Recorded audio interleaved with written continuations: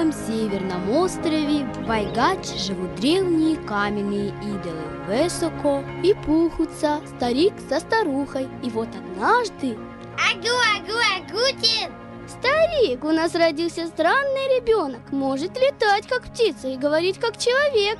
Может, это Минли, помощник шамана? Спросим у однорогого шамана. Шаман! Шаман!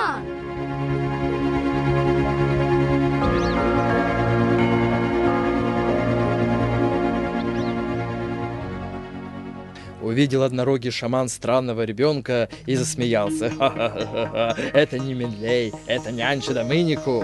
Вот ему малится и пояс, пусть летит к человеку. Говорить человек умеет, надо научить его летать. Не вижу ничего смешного, давай скорее малицу.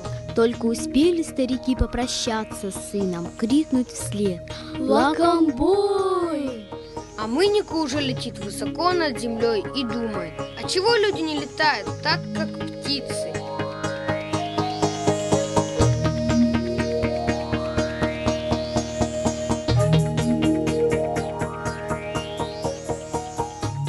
Едва Мынику подлетел к Ямалу, Уже прямо в него стрела нацелилась. не стрелять, я не дичь, я нянча да Мынику. Умею летать и говорить. Ищу человека, чтобы научить его летать. Поздравляю, ты нашел то, что искал.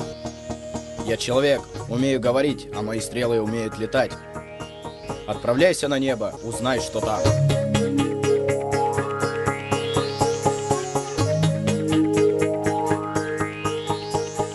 Прилетел Мынику на небо и говорит, я нянча да Мынику, человек хочет знать, что на небе. Я Илебям Бертя, даритель оленей. Дарю человеку стадо, пусть сделает мне жертву. Тогда он сможет летать до другого неба. Взял Мынику дарственную бумагу и отправился с первого неба обратно к человеку.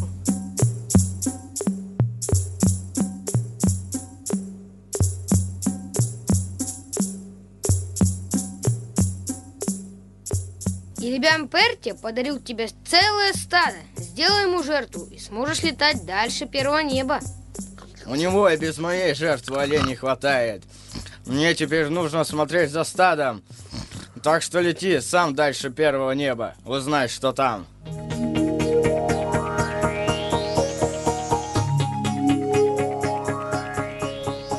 Снова земля и мало далеко внизу, и нянча Домынику высоко в небе.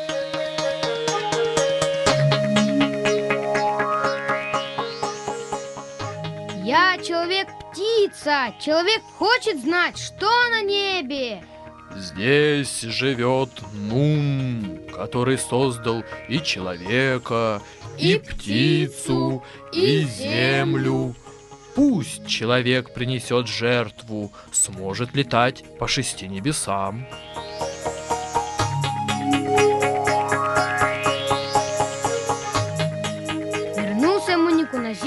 Передал слова Нума человеку. А тот в ответ. Ну, мы не прислал и паршивой пешки, а хочет жертву. Зачем мне учиться летать, когда ты уже умеешь говорить? Лети на шестое небо, узнай, что там. Ох и трудно учить человека летать, подумал нянча Домынику. Сам-то он уже аж до шестого неба долетел.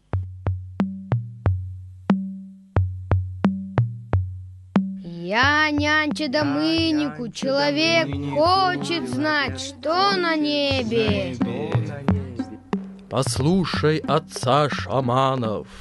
У человека еще есть время. Принесет жертву, сможет летать аж на седьмое небо и узнать его тайну.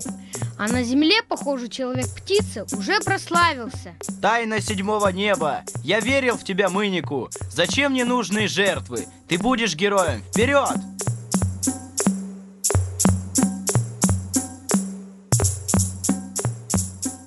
Привет седьмому небу! Думаю, вы обо мне уже слышали. Как насчет тайны?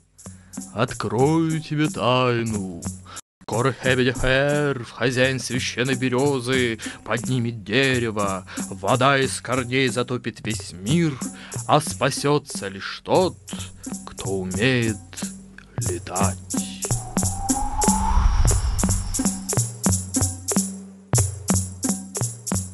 Это же сенсация, лечу сообщить человеку. Нет, это просто тайна. Сейчас ты сказал свое последнее слово. Ты больше не можешь говорить, потому что ты не научил человека летать. Теперь ты не мой. Вернулся Мынику на Вайгач. Родители рады, приветствуют его ласково. А не сынок! А Мынику ничего не радует. Горюет бедняга. Как немому интервью давать, песни петь, по телефону звонить. И однорукий шаман не поможет. Медицина здесь бессильна. Так что летай нянчу Домынику и помалкивай. У кого-то, кажется, неприятности побольше, чем у тебя.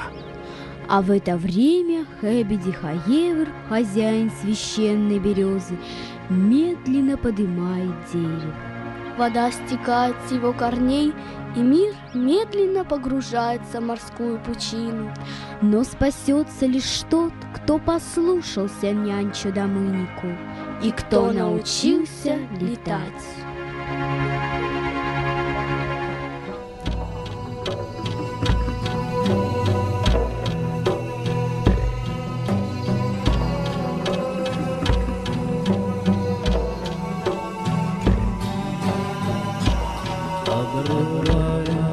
первейший трон.